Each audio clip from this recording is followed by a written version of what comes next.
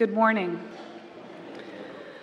For as far back as I can remember, I wanted to be a teacher.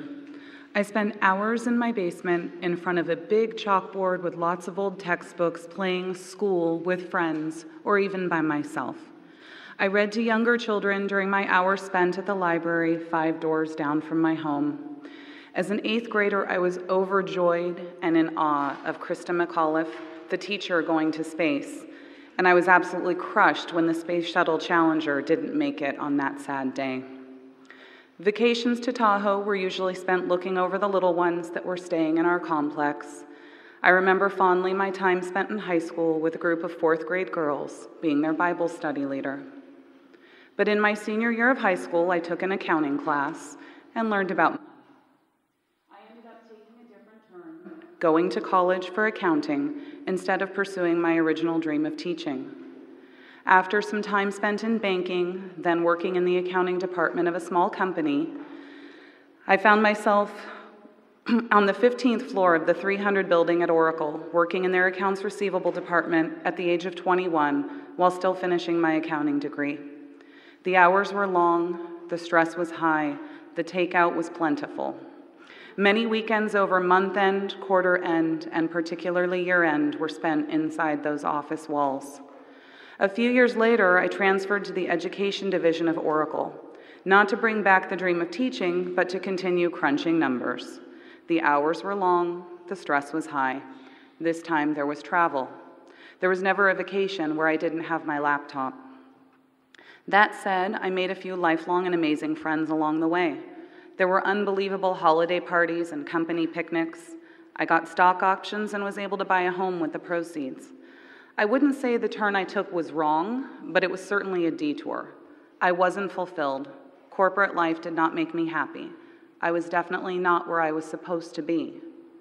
Pastor Mary recently asked me what I thought the word called meant. To me, to be called is to be pulled. A call is a desire, a need, something that just has to happen. My call was to teach. After nearly 20 years at Oracle and seeing the fulfillment my husband had as a teacher, that pull was too strong. Something had to change. God had another plan for me. It was time for me to revisit that childhood dream and make it a reality. I enrolled in a two year master's program to get my credential and step up to that call.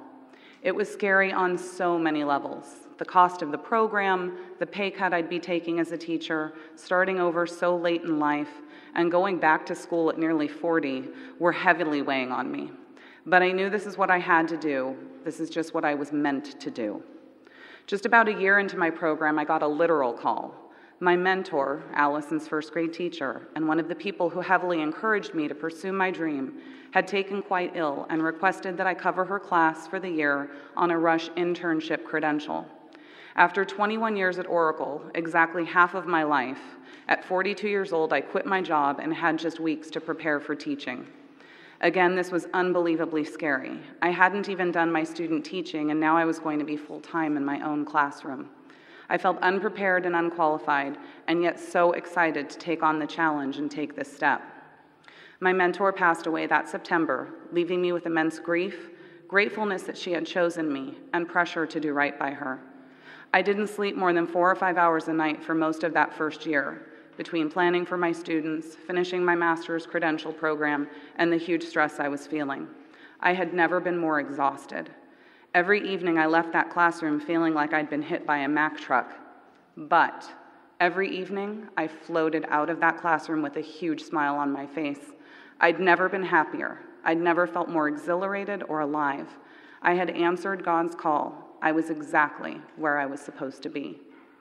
Being a teacher is the best job ever. I look forward to each day. I am so passionate about my students, wanting desperately to care for them and help and support them and be the best teacher I can possibly be for them.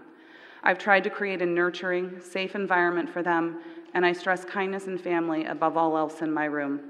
I make it a priority to truly connect with my students and their families. I want my kiddos to know how special they are and how much they are loved. I have high expectations and I work them hard, but we have oh so much fun and joy along the way. It's still far more exhausting than Oracle ever was, but I am excited to go to work each day and am thrilled and honored to have the privilege of teaching these amazing children for 180 days each year. It is a gift. I can't possibly put into words how much I love teaching and how much I adore my students.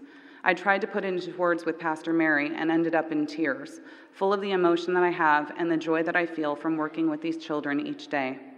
I just started my fourth year and I never looked back after half of my life at Oracle. I know that this is what God has called me to do. This is without a doubt where I belong and what I'm meant to be doing, and how happy I am that I answered his call. Thank you.